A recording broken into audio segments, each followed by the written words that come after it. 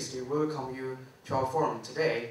And uh, we're also very uh, pleased to have the first uh, British Chinese Chief Inspector, Mr. George Lee, as our guest speaker. Uh, Mr. Lee was born in Hong Kong and moved to the UK with his parents at the age of 10. He was then selected on the Home Office High Potential Scheme and was sent to Trinity College, Cambridge, on a Shield uh, scholarship to study Chinese and, and social political sciences. He broke the glass ceiling by becoming the very first British Chinese uh, Chief Inspector in the London Metropolitan Police. Mr. Lee left the Metropolitan Police in 1998 and became the Executive Vice President at T-Mobile International afterwards. He was also the first Chinese Conservative Party parliamentary candidate for British general election. Ladies and gentlemen, please join me in welcoming Mr. Lee.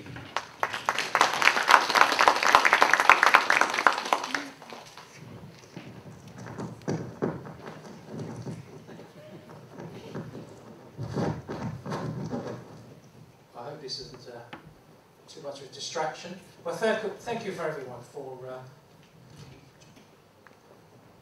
for taking the time out to come in today. I know it's the weekend and you're all busy, so I'm very grateful for you to come. So I'm going to speak no more than 30 minutes, I hope, and then hopefully we'll have a more of an interactive Q&A session. Um, and I'd like to hear your experiences as well. Um, what I'm going to talk about first and foremost is the history of the Chinese migration into the UK, the background against that migration, and then I'll use myself as a case study of what the experience of a British Chinese was like in the UK, and my perspective of what the impact of the rise of China has for the community. So that's bro- broadly the kind of theme. So in terms of the Chinese in Britain, the first migration really started uh, at the turn of the 19th century, and this is obviously um, against the backdrop of the Victorian era. I, know you know British history, but in Victorian times, Britain basically ruled the world, right? It had the empire that the sun never set. So you think about a lot of our infrastructure, it's built by the Victorians. A lot of the culture and ethos of being British actually stems from, the Brit- uh, from that era. So that's the kind of backdrop. The migration of the Chinese, as I said, is the oldest community uh, in, in the West, here in the UK. The first Chinese came over as seafarers. They, um, they were on board merchant ships. Some of them stayed on or just let go when they came to the UK in ports like Liverpool, Ipswich, along the east coast, east end of uh, uh, London. Um, they obviously couldn't speak the language.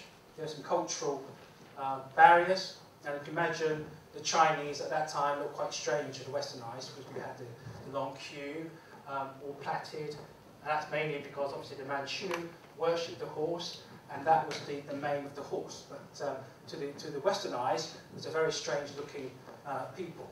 Um, that forced a lot of the uh, Chinese to go into business. So they either ran boarding houses or started up laundrettes. Yeah? Not many Chinese run laundries these days, but in those days, they ran laundries because they were hired on board ships, and their job was very much to do the washing okay, in the, in, in the gall- galleys. The second kind of migration came along in the uh, 1880s from the US. So a lot of Chinese went to the US, helped build the railroad, did the uh, digging of the, the gold mines, but what they found was that there's great discrimination in the US at that time, and there's actually legislation that passed against Chinese migration, and Chinese was the only race that weren't allowed to become US citizens. so lots of the, uh, the uh, US Chinese came and joined um, compatriots here in the UK, but there was very little integration because they had very little in common. As you know, China's a very diverse area, so people come came in different parts. So those two communities stayed here and they started again, went into business. And I guess that community would have died out, they integrated, if it hadn't been for the Hong Kong Chinese who came over in, in the 50s and 60s.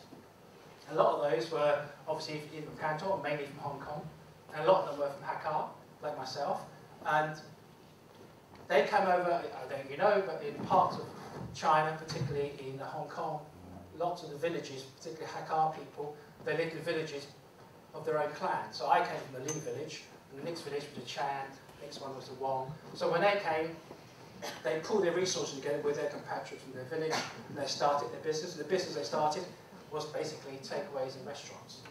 Uh, again, because they couldn't speak the language, there were still cultural barriers there for British Chinese to actually compete with the indigenous population. So once those businesses established, the partnership broke up, and then people had sufficient money to start their own business. So the only way that they could actually sustain that business was to hire their own wife and kids. So of the wife and children from Hong Kong joined the first wave of the, the, the fathers. Who, so I was one of those, where my dad came over first, then my mum came over, then some of my brothers and sisters, then my family of six, and then the rest of us joined. So we all worked in our takeaway shop. You know, we lived above the takeaway shop. And obviously that reinforces some of that isolation in the community because competition means that you can't have a Chinese restaurant takeaway next to each other unless you're in Chinatown. But so people move further and further apart from each other in order to actually generate sufficient catch for the area for customers to come into that area. So that reinforced some of the isolation in the Chinese community uh, in the UK. Uh, but also unsociable hours doesn't help because it work 24-7. I know my, my own um, family, the only day that they actually um, had a day off was Christmas Day. Right? So all the other times they were working very hard. But again, due to the nature of the catering trade, the second generation or the third generation now have a bit more ambiguity because they don't have much contact with other Chinese um, about their own identity. And we'll talk about that later. And then in the 70s, there was a when the communists uh, kicked out uh, the Americans and took the south of Vietnam back, there was lots of refugees. And among these refugees, boat people, a lot of them were ethnic Chinese uh, because of persecution, because a lot of the, the, Chinese in Vietnam at the time ran businesses, uh, so they were quite middle class. So when the communists took over, they had to go. But also with the dispute with China, with the uh, Sino-Vietnamese War in the late 70s, that didn't help the Chinese in that country either. So, so lots of boat people came over, and a lot of them, mainly the, the ethnic Chinese, integrated with the existing Chinese community. So that then meant they went and worked in the catering trade. Because a lot of second generation Chinese were beginning to move out of the catering trade. So the, the fresh group of people in Vietnam helped to fill that gap. So the Chinese businesses carried on uh, that way. But also in the 70s and 80s, what you had was um, a lot more Singaporean and Malaysian Chinese started to arrive in this country, mainly as students and professionals, so very middle class background, didn't really integrate with the existing British Chinese community because the British Chinese community was in, in the restaurant trade. And in the 90s, another flux of Chinese came over from Hong Kong uh, because in 1997 was booming. So mainly professionals and ex-civil servants uh, came and boosted the, uh, the Chinese community in the UK. And obviously in the, in the 90s and 2000, uh, particularly after Tiananmen Square, a lot more Chinese came either asylum seekers or as students, like many in this room, and professionals who actually stayed on. So in terms of population in the UK, of China, British Chinese, in the 2001 census, there was actually 250,000. And by the time the next census came along, 10 years later, it got up to 433,000. So today, it's estimated approximately 500,000 British Chinese in this country. That's not counting the 100,000 Chinese student, overseas Chinese students here. So it's a very sizable population in the UK. And the Chinese is the third largest visible ethnic minority in the UK. So just about 1% population. So again, go back to the background of where the early settlers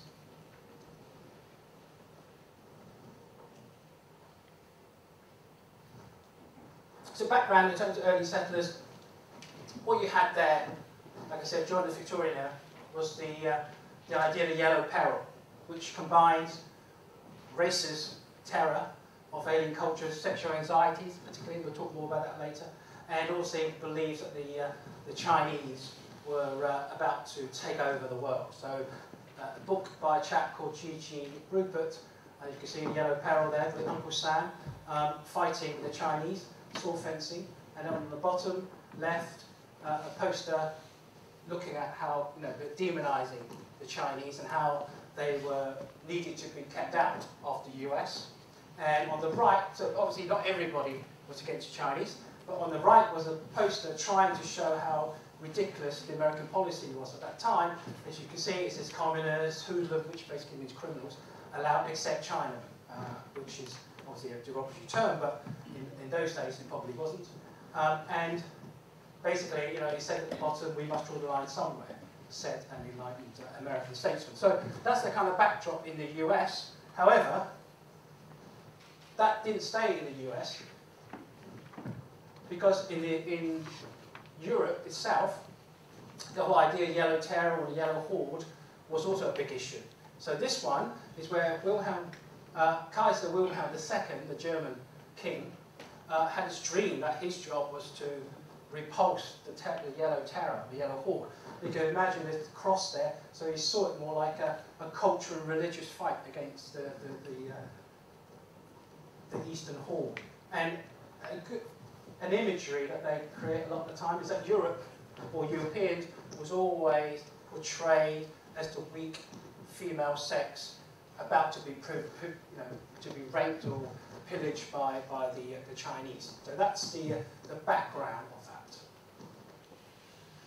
Uh, another example, in the UK, for example, there was a campaign in the UK and in the colonies, so Britain at the time, Canada, Australia, New Zealand, South Africa, they were all white settlements, and there was a campaign to keep those nations white.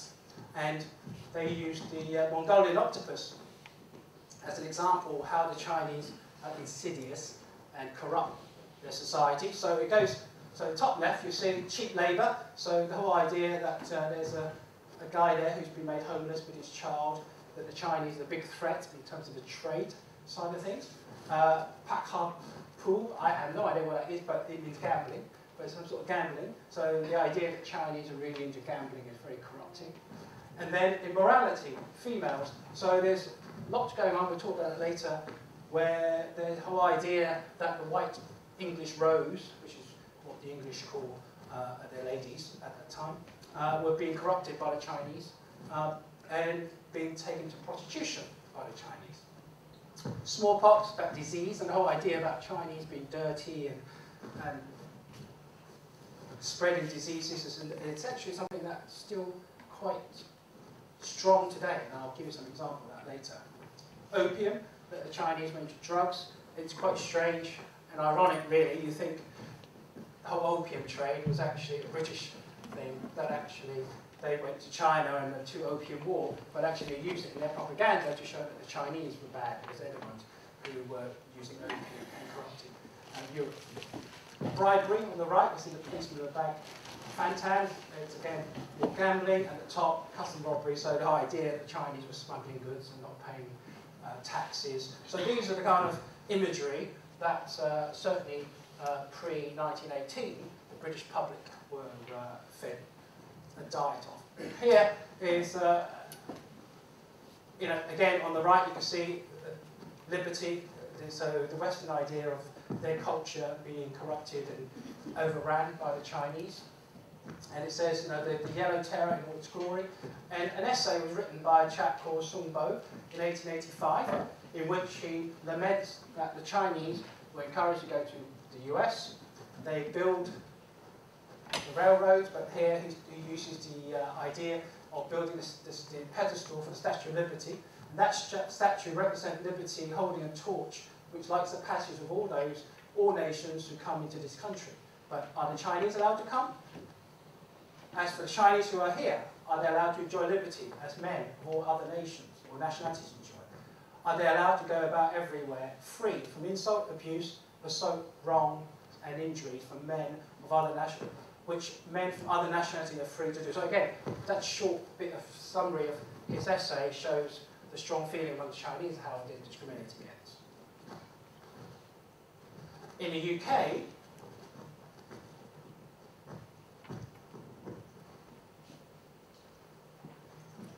the Chinese were portrayed very much as a moral corrupter of the English rose. And the English rose was being in danger of being corrupted by the Chinese. So this is a very famous um, uh, draw, a photo or drawing in a the London Magazine in 1911, which uh, is called In the Lamplight. And we'll talk about it later because that was a very strong message which actually resonated with a lot of the government officials at that time. And there was a moral panic in the UK at the time. And you can see the title of his uh, article The Chinese in England, a growing national problem. So just to read some of this, this is from uh, uh, an academic from uh, Nottingham University. He did the research on that time um, about the Chinese two in 2009. And he said, in the street, a strange pair of lovers halt and whisper beside a lamppost. The man is bland, furtive furtive eyes, young Chinese. His companion, pretty, well-dressed, English girl who lifts a pair of large, insolent blue eyes as I pass. A constable approaches, and the couple vanished into the house, dark and silent as a tomb. So those who are English scholars will understand the imagery that it's trying to conjure up that it's not right, it's a bit seedy, and it's, uh, it's just not something that um, people should be tolerating. So those are kind of imagery and language that's being used. And again, uh, Auerbach did analysis of, uh, he did, his analysis was very much, he took, oh, he took plays, magazine, newspapers, uh, government policy, laws, uh, court records and police records, and public and popular culture at the time, and he analysed all that to actually way he's produced. Okay? So in his analysis, he, he gave example two plays that he analysed where the author depicted the Chinese as wealthy and property as a primary means by which they exerted power over the white man and woman. So it was like a reverse kind of culturalism, uh, uh, colonialism, where the Chinese were exerting their power and getting their own back for the wrongs that had been done in China at the time by the Western powers. So, and the next bit is to emphasize the contrast between the physical robustness and often violent masculinity of the white male character and the subtle cunning of Chinese men.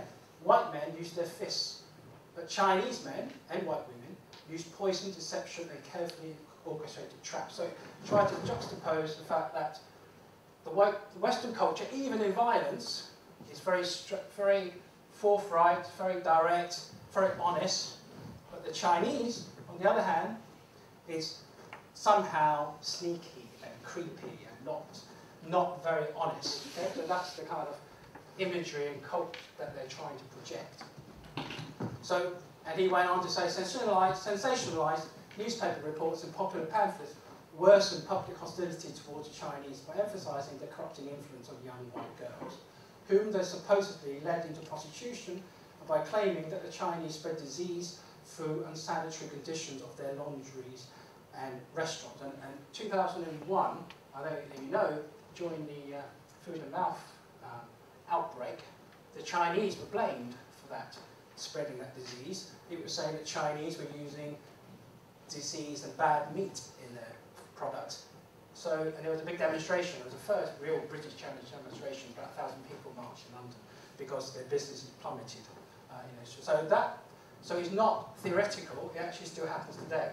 Okay, so that's still in people's mind. And such was that moral panic in the British Empire.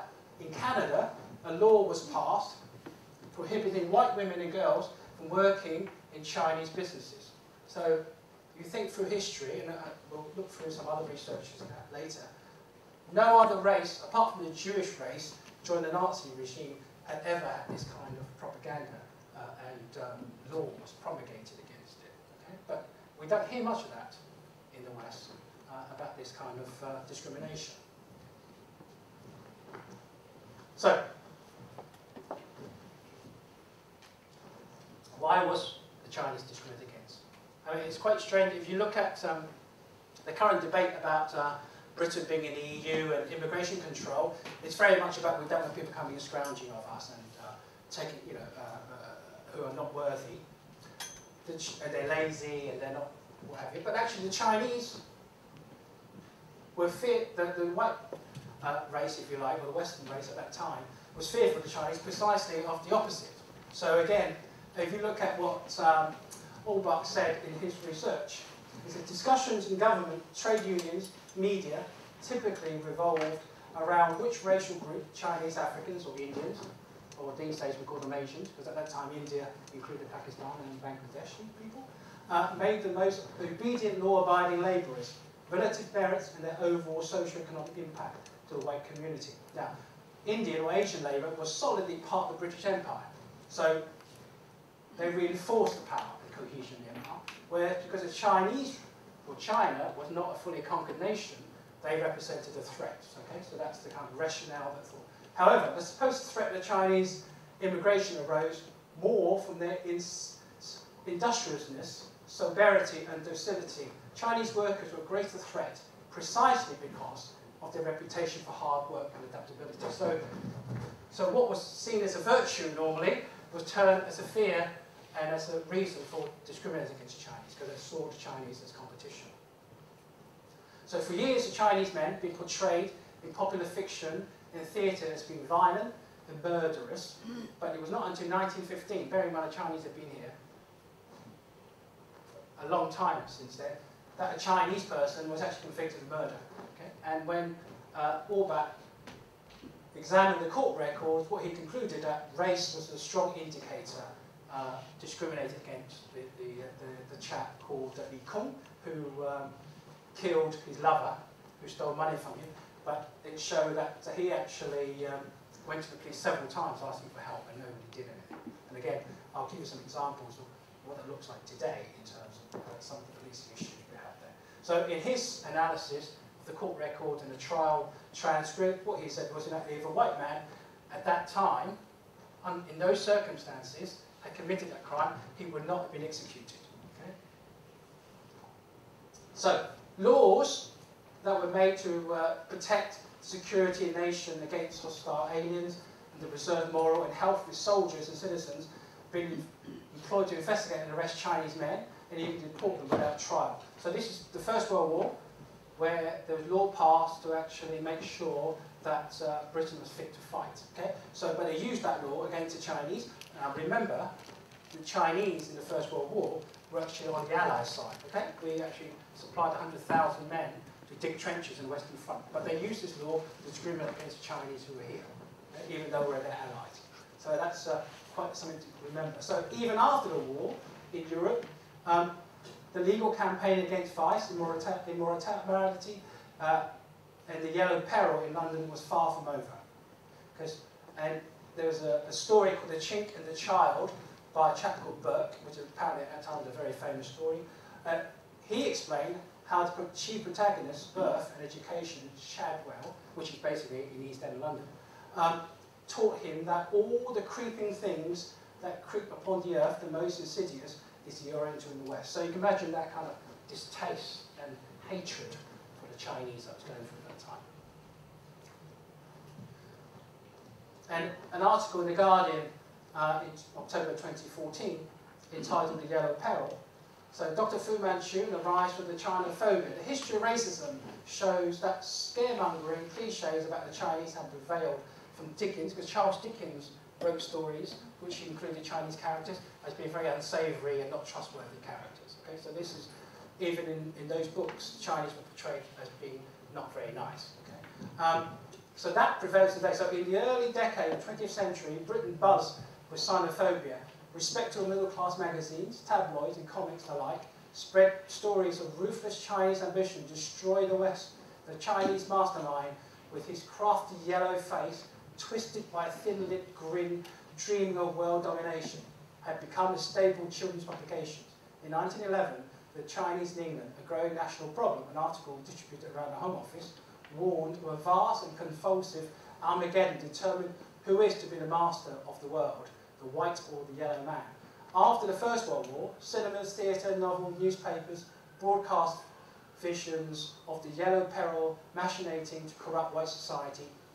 In March 1929, the Charge d'Affaires in London, Chinese legation, complained that no fewer than five plays showing in the West End depicted Chinese people in a vicious and objectable form. The historian uh, Gregor Benton has argued that anti-Chinese feelings in Europe, the US, and other white settled societies at its peak a century ago was, greater, was greater than that aimed at any other racial group. So I, I don't really know, but Man, Fu Manchu on the right there is a fictional character. The good thing about it is that he went to Oxford, okay? So, uh, so he's depicted going to Oxford, but actually the other thing to remember is that James Bond, the fictional character, came to Cambridge, so we have the hero at least. Okay? And what Benton and Gomez, they did a study in 2011, which took them 10 years to study, to, to do, uh, of the British Chinese um, population in the UK. And what he said was that the Chinese, who in modern times have been the target of special exclusion laws in all five continents, so this is greater than the Jewish community who see most of discrimination in Germany, whereas the Chinese, every continent, there's always been discrimination and law specifically passed against the Chinese. Okay? So the near universality of anti-Chinese prejudice was the most favoured nation policy in reverse. I, I quite like that phrase, phrase actually.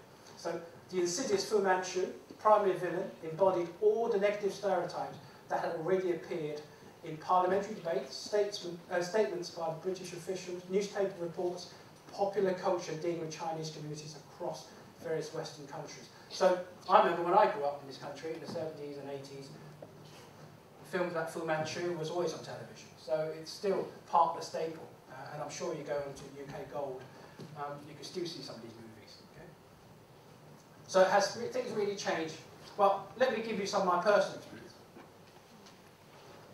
They said, kindly said, you know, I came over, I worked in my parents' takeaway shop, I remember, obviously, not many other Chinese in, in the area that I, uh, I lived in. And I remember when uh, Bruce Lee uh, became famous, and he was the first kind of Chinese star, if you like. Obviously, it was all martial art, and all you get was people going, wanting to fight you. And they'll come into the takeaway shop, and they won't pay unless you give them a, a fight, because they all Chinese were martial artists. So that's a kind of stereotype that you used to have. And I also remember my, my, my parents saved up and got my older brother and sister all contributed and bought a new car. Okay, and it was uh, it was a nice new car. And within a week, it was vandalised. Somebody had gone with a hammer, smashed the window and everything. I had it fixed. The following week, got smashed again. Okay, so that, those are the kind of uh, conditions that one lived.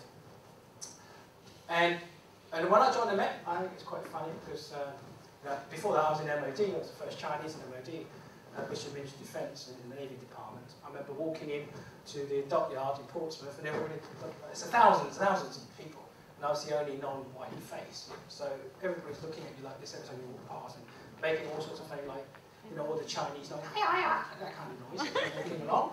So, but in the police, when I went for my interview in 1981, I walked in, to, I just put my application for George Lee, so this is before ethnic monitoring, so nobody, so I walked in, and there was a panel of senior officers, the chief superintendent, he looked at me and said, oh, you're Chinese. I thought, well, this guy could be a great detective. he said, look, son, he said, you can never, you can never be a policeman in the streets of London because there's no Englishman will ever allow a Chinaman to tell him what to do. That was my introduction to the police. Okay? And then when I came out of the training school, um, I posted at Bow Street Police Station in central London, Covent Garden, so Chinatown with my patch. I went out walking with my sergeant and um, didn't speak to me for eight hours. We call it puppy walking. Literally, he'll walk, you'll follow, okay? And they don't talk to you. And my number was 172. So he didn't At the end of the tour in Leicester Square, he looked over and he says, 172, come here. Said, he didn't use my name, right? He said, I voted for a National Front last general election. The, the National Front was a right-wing uh, party that wanted to kick out all immigrants, okay? Said, I voted for the National Front last general election and you'll be out of the job in six months. that was, that was my baptism uh, into the police service. So what I realised very quickly in the police was that uh, if you're an ethnic minority, because when I joined, I was the only Chinese, there was two black guys and one Asian guy in the whole of Britain. Britain okay, so things have changed now, thank goodness, but in those days, um, there was strong discrimination. It's a very racist, sexist, homophobic organisation. Okay? Uh, lots been done since 1981 to change that, but in those days it was just part of the culture. And going back to um, what I said about the, the, English rose, I remember dating a couple of uh, WPCs, or female police officers, who were obviously white girls, uh, and I remember uh, one of the, my colleagues literally come over and says, how dare you taking our women? I mean, that, that's the kind of, that was the kind of, uh, and, and again, my wife's English, but uh, when I dated my wife, wife, my first date, I went to pick up from her house, her dad made it very clear that he did not want me to date her, right? And when we came home after, uh, and her mum said to her apparently, um, think of the children, that was the first thing. we would just go out for a drink, just one drink, okay? And, uh, and we, came, we came home that night. All the content of my wife's bedroom was in the front garden. And she had to spend a week living in the garage because she dared to date a Chinese guy. Okay? So, but she married me anyway, so I thought I had to marry her after that. Right? And again, again, as I mentioned, I took the exam very early. I was made a sergeant when I was 24, which was the youngest you could do in the police at the time. But I remember coming top. So the exam at the time was competitive. So what you have is you know, four or 5,000 people around the country. You take the exam, there'll probably one 100, top 100 guys will get promoted. So it's competitive. So you can get 99% and still fail, right? Because everybody above you, they only want 100. They all get 100%. Uh, You're never going to get promoted, right? So that's the, that was the system. I remember coming top, and this old guy who's been in the police like 25 years and failed the exam every year, and he came up to me and says, you've only got it because you're an ethic. So, so I think it shows a persons more their insecurity than yourself, but those things did happen. So in terms of the corporate world, you know, I think it's interesting to know that in the LSE study in 2010, the Chinese were the highest academic achievers in the UK, which is no, no surprise to anybody in this room, I imagine. We're sitting in Cambridge. We the lowest unemployment rate, lowest incar incarceration rate, you know, people in prison, than any other race, highest household income. So economically and academically, we, we, we're doing fantastically well, okay? But certainly when I was in the corporate world, I said I was in uh, President T-Mobile, I was managing director at Logica. I was managing partner for Mercer Management Consulting, and then Oliver Wyman Consulting. I was uh, senior director at Vodafone, so I launched Vodafone Live, so the fact that you could play picture, do games, do email, that kind of, I launched that in 2002, the first kind of mobile phone in terms of smartphone. Okay, but there was no other Chinese face in any of those senior corporate world. Okay, so where are they? So where are the Chinese CEOs? Where are the Chinese celebrities? Where the actors, so where the high profile people? And Oxbridge, where's the Chinese masters? So why aren't there any? We've been here for many generations, we've done very well academically, so why is it that we're not there? And I know two guys very well. Alan Mak was the first Chinese MP who actually worked for me in my campaign in 2010, and Lord Wei. Um, they both, you know, justifiably, unjustifiably, but they've had very bad press. I remember when Nat made law. There's a newspaper even saying he should not be given that, he should hand it back. Okay? And when uh, Alan Mak got his uh, uh, nomination for Hampshire seat, um, there was such bad publicity and such bad comments in the website within the Conservative Party, they had to take the site down, right? So it was, you know, whether they deserve it or not, I don't know, but the fact is, if they were white, I doubt if it would have happened. Okay? It would not have happened. So has things really changed?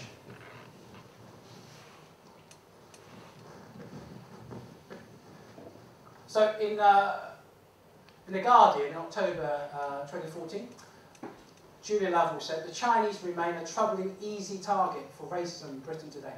After the 2004 Morecambe Bay tragedy, this is where the Chinese, 23 Chinese uh, migrant workers uh, were drowned uh, cockle picking in um, up north in Morecambe Bay. And after that event, an MP and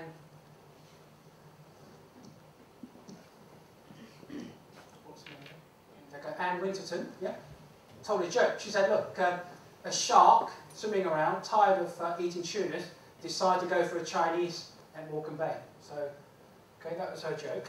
And then uh, Jeremy Clarkson, which is a famous loutish kind of TV presenter that uh, some people like, I have no why, expressed his scorn for synchronized swimming in 2012 and described it as Chinese women in hats, upside down in a bit of water.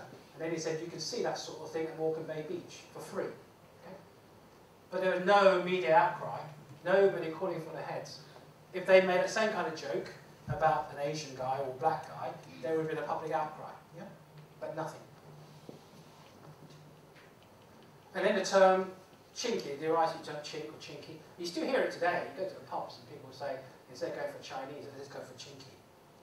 So, but how come that's acceptable when you can't use the nigger word or the packy word?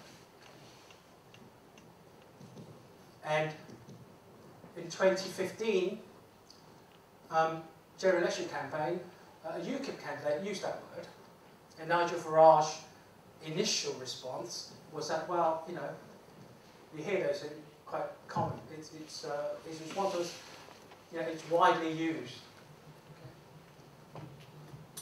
And then in effect, the uh, football chairman, uh, Wigan Football Club, used the same term. But actually, in 2015, something did happen. They had to apologise, and the, the uh, Wigan uh, chairman was fined £50,000, and Nigel Farage, under pressure, had to sack the candidate. And I think why? I think that's partly because the rise of China. Yep. China, the fact that China economically is doing so well, and everybody wants a part of China, that actually has an effect on damping down and reducing that kind of open bigotry.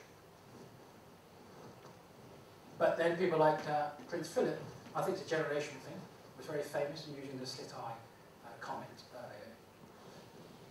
when he was in China. So, and I've used that in 2001, the outbreak of the foot and mouth outbreak, as I mentioned. So the idea of China being dirty, Chinese being dirty, using bad meat, and all that kind of thing, still prevails. And then in um, a research in 2007 by uh, a couple of academics called Parker and Song, called Inclusion, Participation, Emergence of British Chinese Websites. Uh, these websites are enabling the emerging generation of British Chinese people to find their place in British society, to connect with each other and debate about experiences of being British Chinese and the issue of belonging and exclusivity, inclusivity within British society.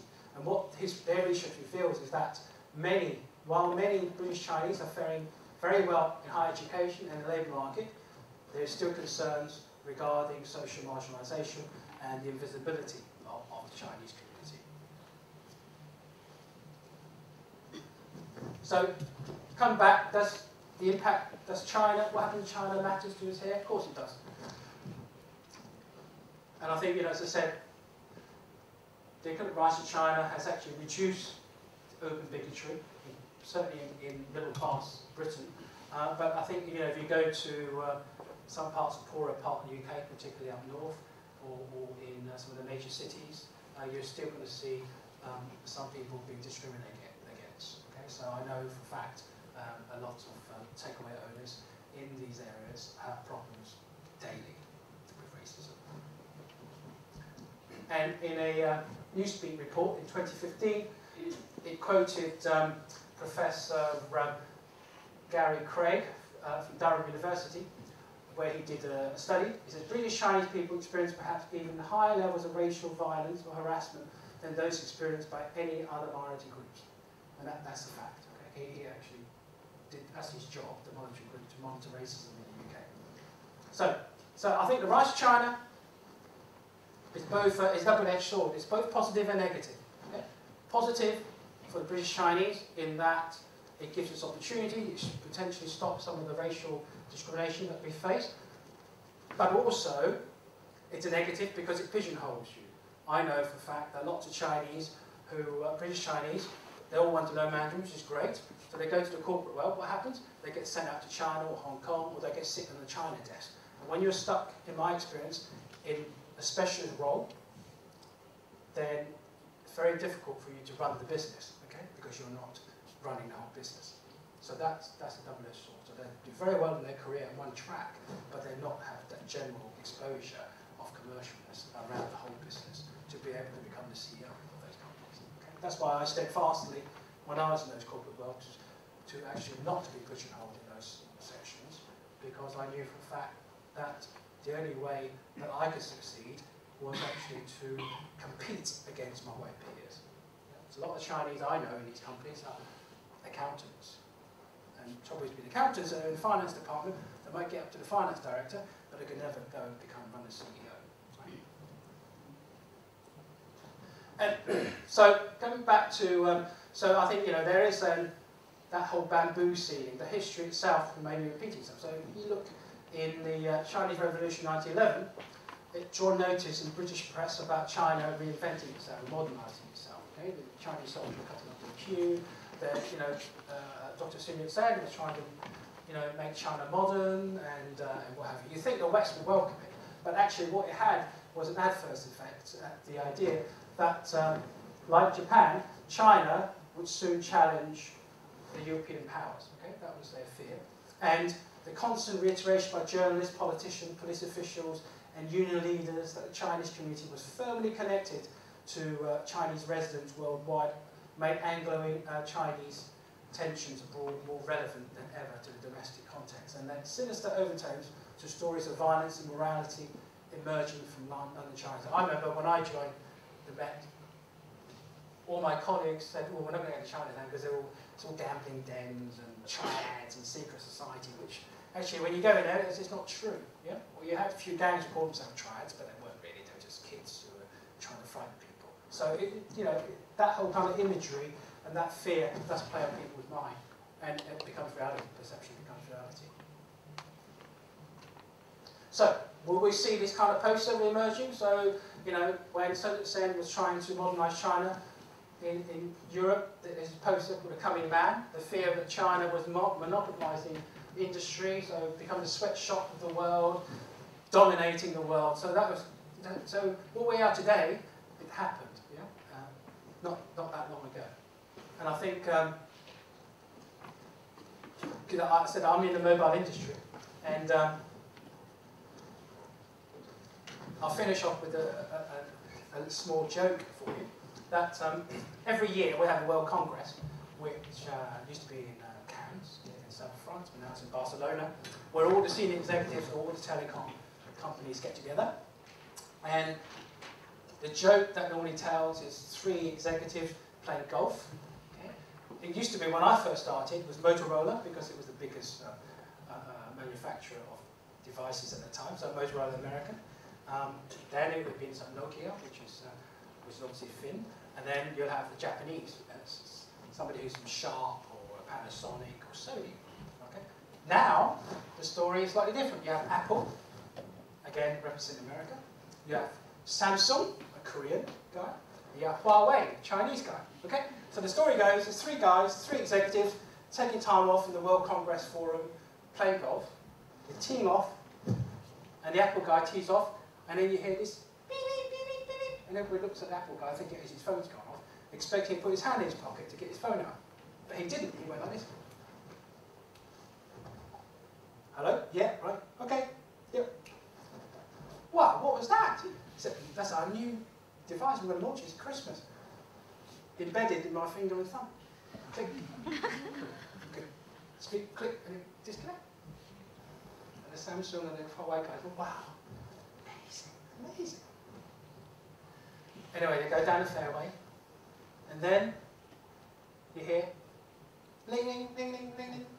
And everyone looks at the Samsung guy, thinking he's got to put his hand in his pocket and get his phone out. And the Samsung guy went,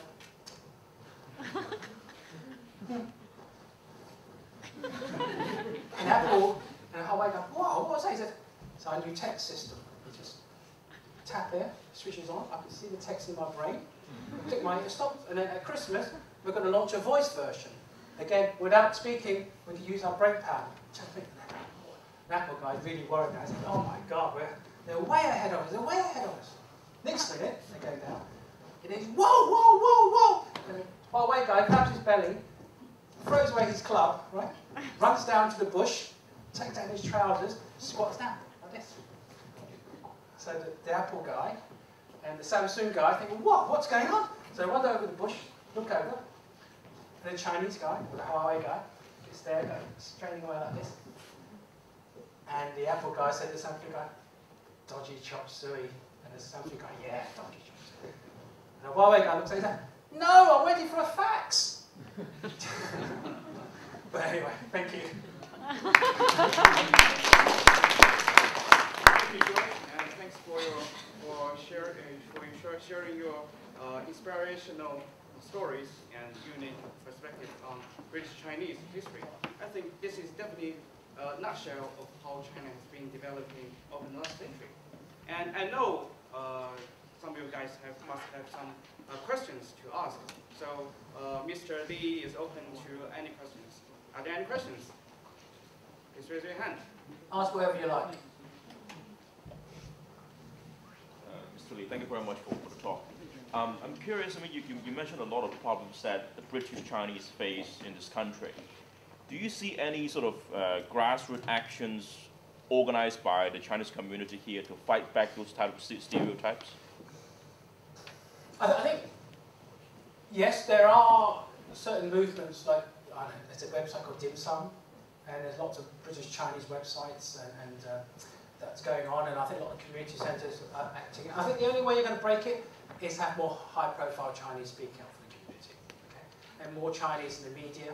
And I, I, I have this view, why is it that the Chinese haven't broken into those mainstream uh, areas? And I think it's three things. One, as I said, is the bamboo ceiling and that whole kind of prejudice in society.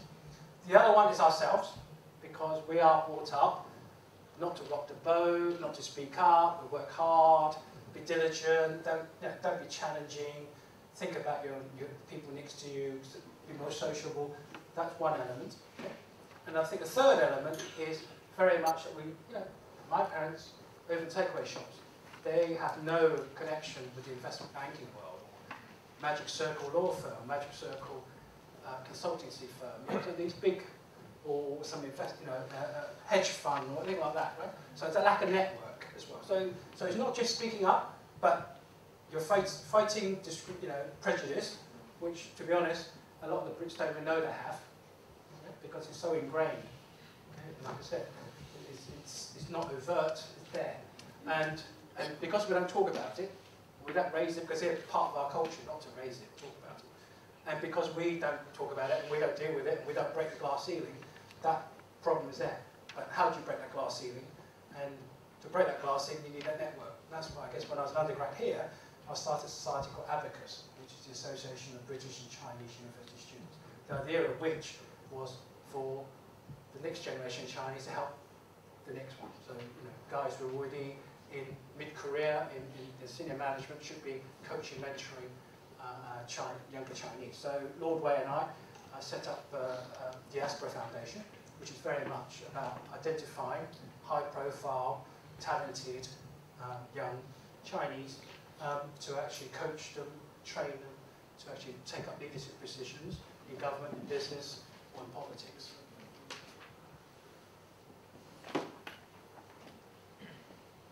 thanks for sharing uh, interesting histories of British Chinese uh, with, with parents. Really interesting to hear about it. Uh, I'm interested to understand you a little bit more as a person, because if I look at your resume or background, you actually went from public service to business work, now getting back to. Is this something you planned from the beginning, or how did that happen? Why you made these give me, give me too much credit for planning. Actually, the guy at the back said to me, same thing yeah. last week. He said, did you plan all this? I said, no, of course not. So I did, you can't plan these things, right? But I think I've always been lucky if I'm honest. Yeah. If you were born lucky. I, I, he's lucky. You have the accolade of luck, but he's lucky. And I think it's also being able to look at your own situation and make the best of it. And I think, you know, when I was young, I noticed that there was no Chinese role model anywhere. So there's nobody that I could look up to and, and be. Um, and, but I also noticed very quickly that to be successful, A, you have to lose the accent. Okay? my older brothers and sisters, they still have a Chinese accent, and they've, they've never been successful in the corporate world, and that's why they had to go back into the catering business. Okay? Second, you have to adapt the manners and the confidence, and the, you have to be like them, right, in order to, to, to, to compete. But you then all need to understand your strengths and your weaknesses and your cultural sensitivity. And, and I, you know, I guess when I was in MOD, I was very lucky that uh, I was in public service, um, and that in 1979. And even in, in those days, it was a very, very, what we call the old school tie, they were all ex-Etonians or Harrovians, and there's a man who's an ex-Etonian at the back. and also an Oxbridge educated, very white dominated culture. And, but I was very lucky that my boss taught me a lot about how to behave, right, in civil society. So how you drink your tea, how you eat with knife and fork, how you make nice polite conversations, and certainly when I went for the uh, high potential scheme, it was three days, locked away in a big mansion in the country, Hampshire countryside, and people just looked at you, how you act, how you behave, and how you interact. Yeah? So, so those are kind of assessments um, centres people do even when you're relaxing. So how you have the conversation in the bar, uh, not, not just formal questioning, and during dinner, how you knife and fork, you know, those things you have to learn, and, and I think I made the effort of learning it. And I think that just helped. Do you think the standing seating or glass seating is a general phenomenon across all the races or is it only for Chinese people? No, certainly not all for Chinese, but I think it's been less fuss made about the Chinese. Yep. So if you think, Vodafone's run by an Indian guy, right? Yeah. Um, you know, my old boss, again, another Indian guy, he ran Google in, in Europe, yeah? And he was the chief marketing officer for, for T-Mobile. So there's lots. And, you know, a lot of the uh, Quangos are run by Afro-Caribbeans, right?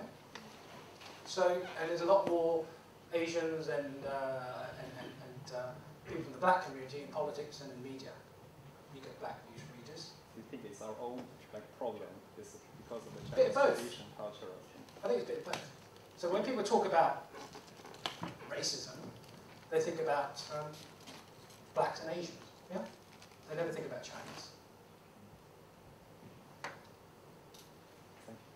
Mr. Lee, thanks for sharing your story. I just have one quick question. I wonder what do you think are the top three important things a Chinese should do in order to break this glass ceiling of corporate world? Top things, I think, I mentioned, one is obviously getting the right skill set and capabilities um, so that, you know, you, you could play a level playing field, but not to be seen as a threat. Yeah? I think that, that's important, just as, as an individual.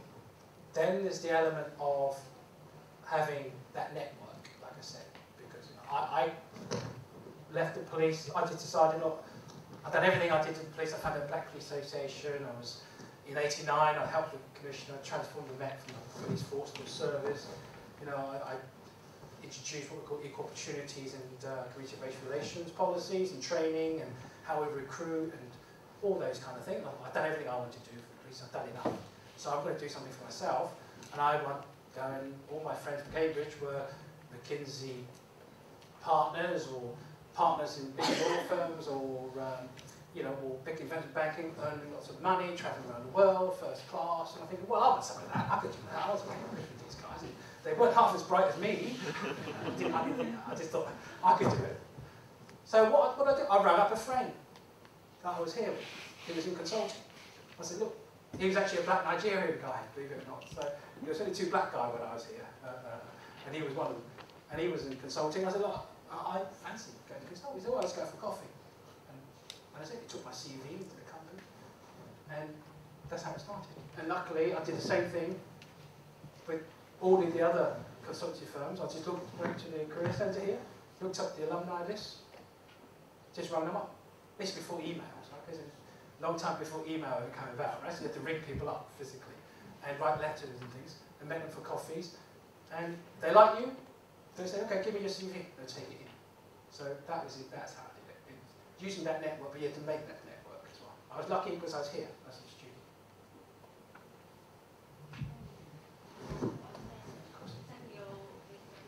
I studied about the different uh,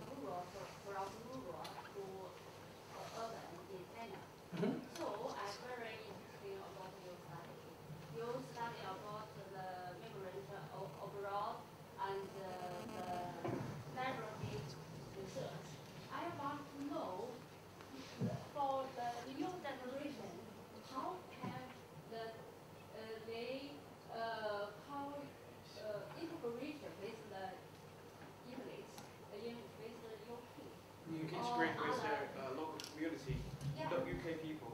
Yeah, Right. with the then uh, I learned a, a new word like maybe called cognitive cohesion or integration.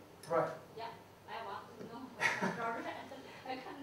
I think f- first, I didn't study this subject. I mean, uh, it's not my subject. I don't study immigration or migration at all. I've just been asked to do a talk, and I just pulled this together. Okay, so it's not uh, so it's not research that I've done apart from you know for this presentation. But in my experience about integration, it's, it's a two-way street. You need the host community to make that effort, but you need the people coming here to make the effort as well. And I think first thing you have to do, quite rightly, you have to learn the language. You have to respect the culture. And I think the Chinese are quite good because we we don't like rocking the boat. You know, we're in public, we behave and we respect the law and we uh, try and integrate in that. But in the home, in the private, we're very Chinese, right? 'Cause I'm very Chinese when it comes to food, right? Because I want to eat food. My kids are going, oh no, not dim sum again. We're not going to McDonald's, right? But, uh, so, so for, I think, I think both. The host community needs to make the effort and actually put the systems, the processes, and the welcoming packs together.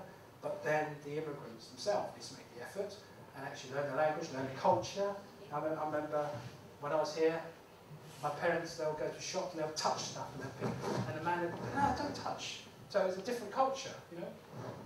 We, there, people don't like you going and touching their food in the and things. So, so we need to understand that, yeah. The spitting in the streets and things like that. So, so, so people find it offensive. So we need to understand their culture as well, and actually then, then, then, then we have a dialogue and be able to cope with it. Okay. Dr. Lee, what makes your English wife, what makes your English wife accept you against her parents? Because I'm good looking? I have no idea. You have to ask her. no, no, no. I think we just we were just we just got on. We're just friends, and my wife is a very enlightened person. Uh, I mean, I think there's a generational thing. Okay, I think um, people who's over forty are still influenced by what I've mentioned about that culture. I think nowadays, younger generation, I certainly most of the kids I meet here, who are undergrads and postgrad here, are not racist at all. Right? They're more open and tolerant. Okay? They might say things and think things that they don't understand is potentially racist because that's where they come from. But the overt bigotry, I think, is a generational thing. So, so I think the UK is a lot better now. Unless, of course, you live in some poorer areas, because the problem with poorer areas is that people, when they're not getting the advantages in the country they live in, want something to blame, and you know you all happen to be the nearest person with a different face and different colour, then they'll blame you. It, it's just human nature. So I think hopefully, you know, my wife was very liberal, and we were friends before we even started dating, before email, right? And before mobile phones, we used to write letters to each other. So I know her since she was 16 and I was 18, so we were just pen friends for a long, long time. So we didn't meet up and date until our mid 20s. In China, we only have one race, which is Chinese. So we, we were not brought up in a society like a different race. Actually, in my mind, I never understand and felt any racism. And uh, we must agree, we only have Chinese of Chinese, we don't understand what is racism about. So that, that actually make all of us today. We don't feel we're being racist against because we never grew up in that environment. Maybe that make us healthier as a young generation, like all of us. We say we brought up with mom and dad, and uh, we went to the best university in China. Then we came here, and uh, we paid the highest tuition fee. Then we had done, we have done the best effort to integrate to the society. So we we we we are happy to share all those things, but I would like to be the optimistic. I can see Great Britain has made a lot of effort to integrate with us also. And the Queen had the beautiful banquet with President Xi Jinping. And also, I can see uh, David Cameron was uh, doing greetings in, uh, with, uh, with, uh, with, with the president with this telecom- teleconference. So equally, we say we want to integrate to the UK, but the UK are equally trying very hard to integrate with China. So, so I don't understand the racism, and I actually don't feel any. I, I'm just an individual. I'm me. So I would like to think uh, there is no bamboo ceilings. There's no glass ceilings. If, maybe nowadays it's changing. So when there is something, we should think about ourselves. We think, oh, maybe we're just maybe our English just not good enough to be that CEO yet. It's, it's maybe there's no racism. Maybe we could all to work together with the solution. So I don't really want to live in uh, a subconsciousness because when I feel subconsciously I'm inferior, that will be, become a barrier of my development because I'm, I'm, I'm me. I'm just part of. So yes, we. I would like to say we have the responsibility as the people, excellent Chinese from mainland. We have responsibility to join up with British Chinese to change perception of Chinese in British society. But in the meantime, we would like to appreciate all the effort Great Britain has made towards Chinese, and we would equally want to do whatever can make everyone happy together. And my actually question at the end is, are you going to stand for the next uh, campaign, a parliamentary campaign in 2010? 20. 2020. so I can be your, uh, I can I will run around and to do, do the leafleting. I enjoyed it. So I, I just want have, I have different view. I'm Chinese. I was born from China. I was born from Beijing. I don't understand racism. I would like to believe we we are all together. We are all together to make contribution to the world. Got nothing to do with this. And whatever in the past, and uh, it was, if we live in the memory of how Japanese was bad towards Chinese, perhaps we will never accept anything from Japan. so that's my view, but I probably just being naive. I don't know, but I'm just. No, I think, look, you're right. I don't want you to leave this room thinking, oh, it's a terrible place out there. It's not. I, mean, I think that's not what I presented. Okay. What I wanted to show you was very much that yes, there is that, but with greatest respect, Lillian, you know, you're walking on your Prada handbag. it's not quite the same for every Chinese in this country. Yeah? It's certainly not the same for British Chinese in this country who were born and bred here, and certainly not the same for British Chinese who live in poor areas. And, you know, not every Chinese is successful, right? There's a lot of Chinese who are in blue-collar work, you know, uh, or are not working, and, and live in council estates. So there is, there is that, okay? And, you know, your first generation, you're from mainland. Like I said, the rise of China has helped British Chinese. Yeah? But we mustn't forget that there are lots of Chinese in this, in this country. There's nearly 500,000 of us. Not every one of us are Oxbridge grads. Are you going to stand for that? it's not up to me, is it? It's up to the party when I get selected again. Okay. Roger, I have a question for you. Yeah. Uh, we know that you're a member of Conservative, par Conservative Party in, uh, in the UK. Yeah. And do you have any comments on the immigration policy proposed by your party? You know that we we have many Chinese students studying at this university, and some of them may consider stay, staying here, but your your party's policy is going against what we want. So do you have any comments on that? Yeah, I, I, think I think um, well, I think it's not just the Chinese, right? In general. Okay. So the thing is, if I had my way, yes, of course we could all stay and do whatever. That's my personal view. But it's politics. Okay. As you know, lots of the public. That's why it's big debate about the EU exit. Is there is a fear of immigration, okay, in this country, and whether we like it or not, Chinese are still immigrants, you know, a part of it. But the fact the point system means that people in this room has a better opportunity of staying here than most people because you're all going to be grads. And I believe even in the system you can stay for a couple of years after graduation. Yeah. do they not? So a lot of the guys I know in the city. If it is, it, it will be very lucky. Uh. Never thought about it. Maybe you can propose this this kind of idea to your party. And no, I'm sure. I'm sure. If you look, a lot of Chinese I know have done their thing and actually gone and work in the city for a couple of years before they go back. I'm sure that's still possible. I'm sure. I'm not an immigrant expert, but a lot of the Chinese I know who, who studied here and then got to stay for a couple of years. If they get a job in Barclays or whatever in, in Canary Wharf, they could stay a couple of years, as long as their employers get the business visa for them, the work permit, I should say. Any other recently um, you, you made a very interesting comment. The Chinese are still treated as immigrants in the in the Britain, in the UK, but you know, like the Chinese in America, especially California, they are al- already treated as like a Native American. Do you know what's the difference? Why why it caused a difference? Totally. Well, America is a land of immigrants, right? Mm. So it's there for people to go in. Apart from Songbow's essay, which will make more powerful because America is supposed to be a land of immigrants. Yeah. UK is, is an ancient land, and it has its culture and its identity. And a lot of that identity, as I said, came from the Victorian era, yeah, which is the height of the British Empire. So that attitude still prevail. You know, you speak to, uh, I bet you, many people over their 50s, and they probably still see anybody of colour not really British. So, you know, because in their mind, Great Britain is a white country. But it's not just us, you know, they have the same thing about the Irish, yeah? Okay, last one. Um, thank you for very, um, very interesting topic.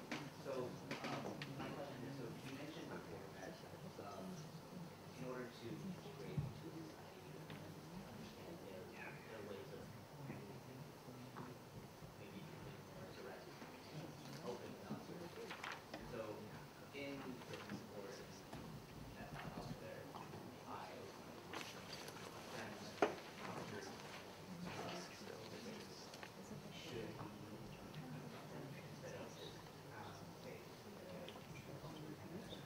So you're speaking from experience? Yeah, or just, or just in general. Yeah. And, if so, what is, a good criteria about being down to very active? Well, I think you should always stand up for yourself, right? And uh, for whatever reason, that if you're being bullied, that's what it is, yeah?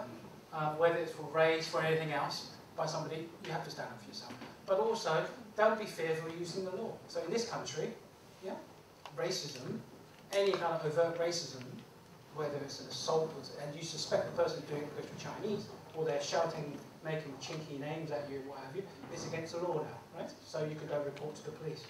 Right? So the police, it's mandatory to go and investigate that. Yeah? If you're the victim of a racial crime, it's a high priority in the Home Office that you should be able, that they, whoever you accuse of doing it should be investigated. So that's very important. I I guess my question is more of if it's a subtle conflict, it's not, it's not an open threat, it's not something that's necessarily breaking the law, but a very snide comment or, or some, something that Well, in the UK, um, the, in the Public Order, Section 5 Public Order Act, anybody who says or do anything causes alarm, harassment or distress doesn't have to be overtly racist. If you feel, if you feel is racist and it's causing you distress, you can report it to the police. And the police will deal with it. Yeah? So that's the Public Order Act. I don't know what the act is in the US, but in the UK, the legislation's there to actually change to, to, to tackle those things. And again, close to what Lily was saying, the British government is trying to tackle those issues. Okay, please. Sorry. Uh, thank you very much. Uh, okay. Yeah. In the years view of the last uh, sitting in the uh, tourism and the identity of the UK now. And uh, what are the reasons and the factors yeah, For the tourism and, Integration. and the identity? an identity, Yeah, no. I think, I think you need to read some of the transnational studies like Gomez and Benton have done. Whole, there's a whole field on transnational identity uh, and culture, and I'm not an expert really at that. So, and I think again, look at the website, a lot of the British Chinese kids um, certainly have this question about, you know, you heard of the term banana? Where you're white inside, yellow outside. They, they have that culture. And I think it's not just the British Chinese, but it's also look at the Asian community at the moment, right? With all the British terrorists going to Iceland. And I think that's partly to do with cultural identity and not feeling accepted. Uh, and these are not just street kids, they are middle class, well educated kids who go to these to Iceland, right? So, so I think there's something in um, in an immigrant, um, second generation, second, third generation immigrant, and in a community that's predominantly white, and if they don't feel they're accepted, there is that like, I know for me personally, I came back to I came to Cambridge, I studied Chinese part one and part two SPS. I did Chinese because I wanted to learn about Chinese history, Chinese culture, and my own identity. Yeah? But I handled it in a way that I want to use it because I appreciate it and enrich me as an individual, right?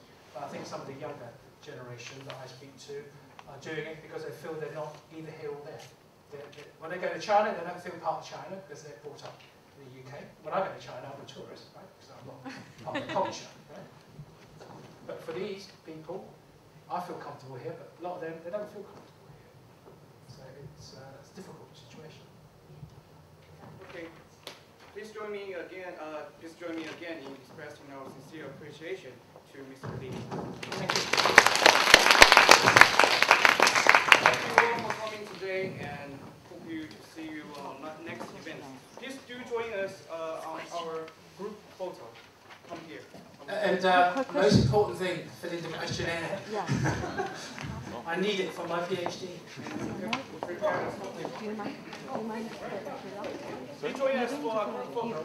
Come here. Come here. To the front. Yes, come.